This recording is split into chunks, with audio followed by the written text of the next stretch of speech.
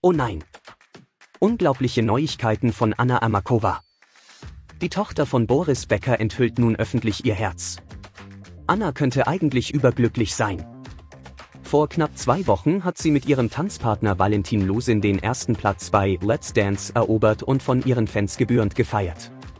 Aber wie Anna jetzt berichtet, ist sie nach dem großen Finale in ein tiefes Loch gefallen. In einem Interview mit RTL erklärt Anna, wie sehr ihr die Zeit bei der Tanzshow fehlt. Sie gesteht, im Moment bin ich traurig, es ist vorbei.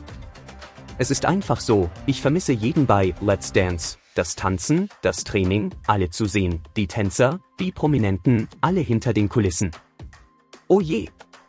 Aber das ist noch nicht alles. Anna enthüllt weiter, dass Let's Dance ihr Selbstbild komplett verändert hat, am Anfang war ich sehr schüchtern. Aber von Woche zu Woche zu tanzen, ich liebe das Tanzen und habe die Musik wirklich gespürt. Meine Emotionen bei Let's Dance zu fühlen und mich mit ihnen zu öffnen, hat mein Leben wirklich verändert. Wow. Mehr Emotionen gibt es kaum. Was wird Anna ihre Fans als nächstes überraschen? Wir können es kaum erwarten, es herauszufinden.